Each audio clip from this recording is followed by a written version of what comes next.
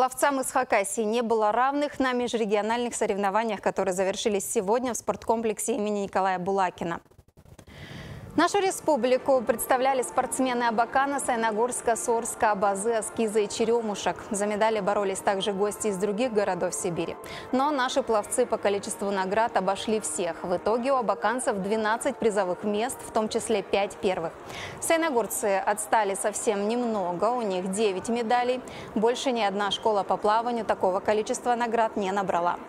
Егор Вазимиллер показал лучший результат в троеборье среди участников 15-16 лет. Победа осталась за ним, хотя в этот раз она далась непросто. Ну, с травмой, конечно, мне тяжело, травма ноги.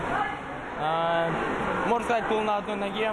Выходы было тяжело делать. Потом надо было догонять соперников. В следующем году буду выигрывать первенство России. Конечно, Абакан – это мой дом, родной город.